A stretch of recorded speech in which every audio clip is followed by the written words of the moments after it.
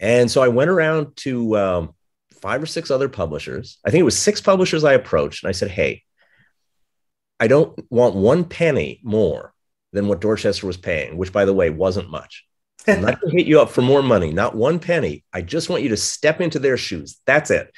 And five of the six made us an offer, which was great. You know, so what's the difference? The first time out of 20 or 30 approaches, only one yes. The second time out of five or six, five yeses.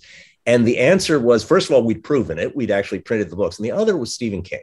So somewhere along the way, Stephen King uh, I, I reached out to him and didn't expect to hear back. And he decided he wanted to write for us because he loved what we were doing so much, which was incredibly generous of him. He's an incredibly kind, generous man. And mm. he liked what we were doing, wanted to support it. And he wrote a book for us called The Colorado Kid. I'm stuck on one thing how we're talking about basically just like the unmatched prolificness of King's work, his production, and that's the that's the stuff that gets published. I'm sure even he has stuff that are still getting trunked.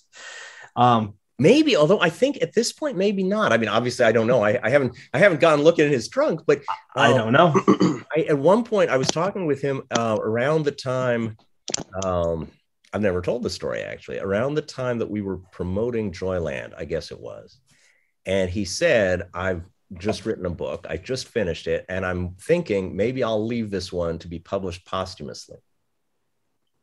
And I thought that's interesting. But then he published it, and that was Revival. mm-hmm. So I think the, the, the, trunk may be empty. You know, I don't know. I don't think he's leaving anything the way Agatha Christie did. She left two books behind for after she died. Uh, but who knows? Maybe, maybe you're right.